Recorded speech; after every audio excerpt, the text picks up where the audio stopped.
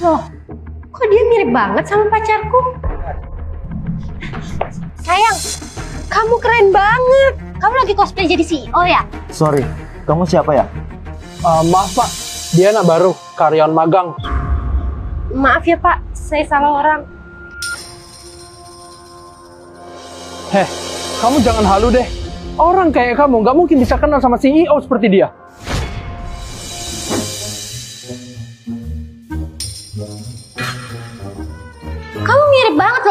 Dia.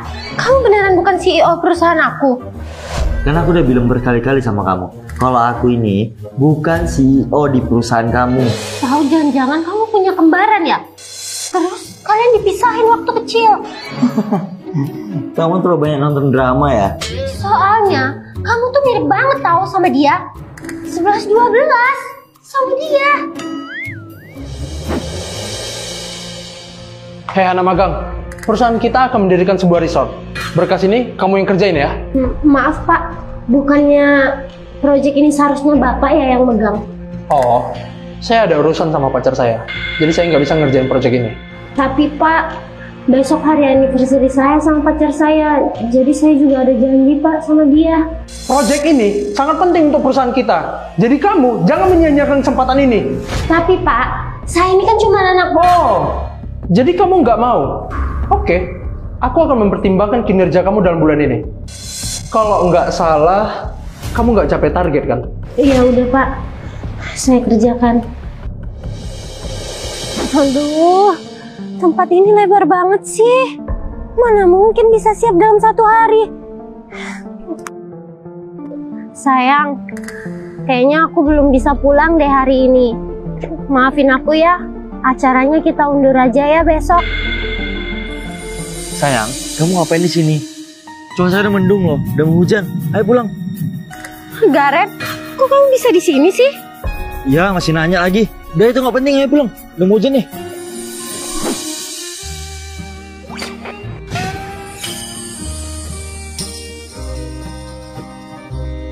Udah siapkan kerjanya? Ya kita pulang. Aduh, capek banget. Mana harus buat PPT lagi. Udah, kamu istirahat aja. Biar aku aja ngerjain. Kamu lupa ya? Kan dulu aku lagi skripsi. Wah, beneran sayang. Hmm, makasih ya. Saya suka. Bagus. Kamu sudah bekerja cukup keras. Kita tinggal menunggu proyek ini disetujui. Kalau proyek ini sudah disetujui, saya akan memberikan kamu bonus. Terima kasih atas pujiannya, Pak. Maaf Pak, sebenarnya yang buat proyek itu saya dan pacar saya Pak. Roger, kan kamu kemarin yang ngasih proyek itu ke aku. Kamu bilang kamu mau pergi sama pacar kamu. Ras, ras. Kamu itu cuma anak magang di sini. Lagian proyek sebesar itu, mana mungkin dikasih ke anak magang kayak kamu? Bapak mau tahu sesuatu? Kinerja dia bulan ini tidak mencapai target. Saya saranin pecat aja dia.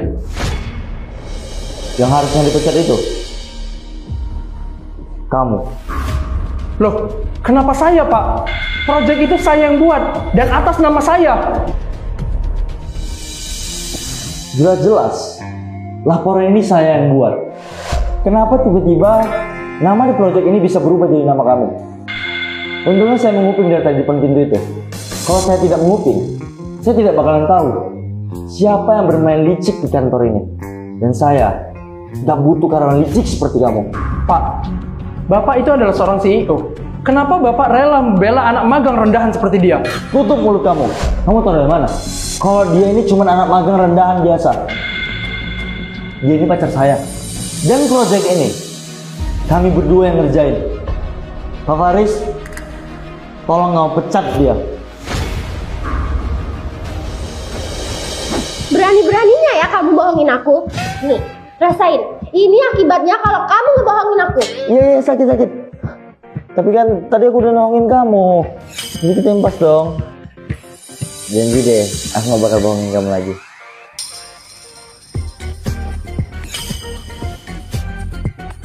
Permisi, saya pesan nasi goreng spesialnya satu ya. Oke, ditunggu ya.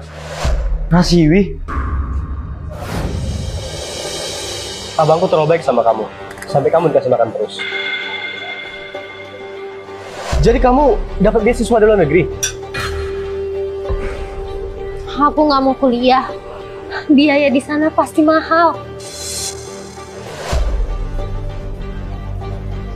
Kenapa sih bang?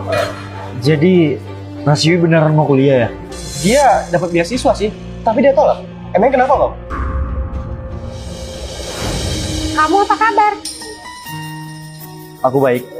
Sekarang aku udah punya pendapatan yang lumayan loh semenjak kuliah di luar negeri. Bagus dong kalau kayak gitu. Hmm, adik kamu mana ya? Seharusnya dia kuliah juga kan? Eh, tadi kamu mau pesan apa? Terserah kamu apa aja. Oh, Oke, ditunggu ya. Permisi, ini pesanannya. Aku udah tebak. Pasti kamu bawain aku nasi goreng yang biasa aku makan. Dan rasanya masih tetap sama. Makasih. Ada yang mau aku tanya sama kamu. Waktu aku kuliah di luar negeri, ada orang yang ngasih uang ke aku.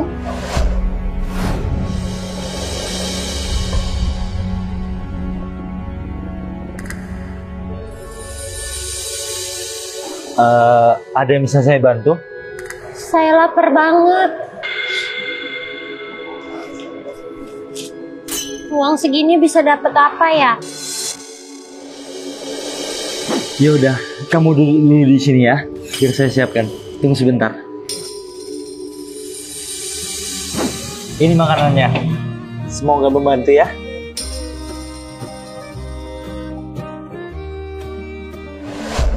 Bang, ngapain sih bantu teman aku itu? Oh, dia teman kamu, Dek. Iya teman aku. Dia kebiasaan minta-minta. Udahlah, Dek. Gak ada salahnya juga kan kalau kita berbagi. Siapa tahu dengan cara berbagi, kafe kita ini bisa ramai ke depannya. Ingat ya bang, kita ini berbisnis, bukan meramal.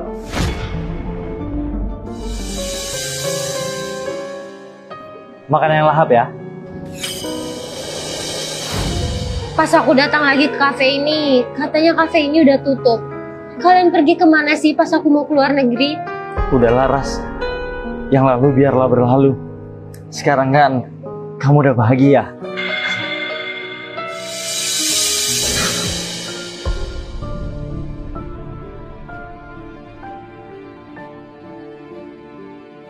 Aku mau ngomong serius ke kamu. Maaf, aku nggak bisa. Aku harus jualan. Kamu boleh pulang.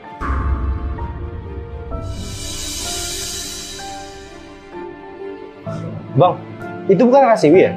Kenapa dia ke sini? Dia cuma mampir bentar kok. Emang abang ngomong apa aja? Abang udah kasih tahu semuanya?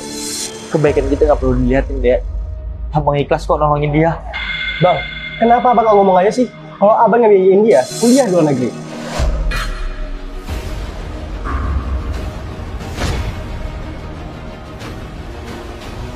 Jadi kamu mau melamar di perusahaan ini? Itu semua jam, tas, sepatu yang aku beli. Sini balikin. Terus aku pakai apa dong? Kalau kamu masih mau kerja di sini, balikin itu semua.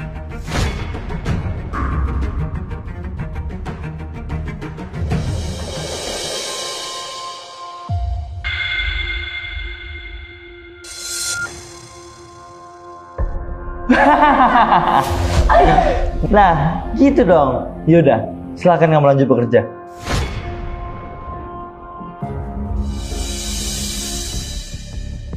Aku seneng banget kamu lakuin itu ke dia sayang. Tapi aku mau kamu lakuin yang lebih menyakitkan dari itu. Apa itu sayang? Wah, rencana kamu bagus banget. Aku bakal ikutin rencana kamu. Viola, nanti sore kamu ikut saya meeting ya. Loh, kenapa Pak Garen gak bawa aja Pak? Saya udah putus sama dia. Hubungannya putus sama meeting apa Pak? Harusnya tetap profesional aja dong. Udah ya, gak usah banyak tanya. Kalau kamu masih mau bekerja di sini, saya tunggu kamu jam 4 nanti. Loh Pak, bukannya kita mau meeting ya? Kok jadi ke cafe ini sih Pak? Sebenarnya kita hari ini nggak ada meeting. Saya bawa kamu ke sini karena saya nggak tahu kenapa suka sama kamu. Maaf, saya nggak bisa. Yaudah nggak apa-apa. Aku masih bisa kasih kamu waktu kok. Aku nggak tahu kenapa tiba-tiba dia begitu menjadi orang yang berbeda. Kini aku mulai terbawa perasaan padanya. Orang yang nggak disangka justru malah lebih indah pada akhirnya. Terima kasih ya atas pertemuan yang tidak disengaja. Maaf, ada apa ya Pak manggil saya ke sini? Saya mau ngomong pribadi ke kamu. Apa itu Pak? Kamu mau kan jadi pendamping saya? Kali ini, tolong kasih saya kesempatan. Kalau gitu aku pasangin cincin ya ke kamu. Tapi bohong. Makan tuh prank.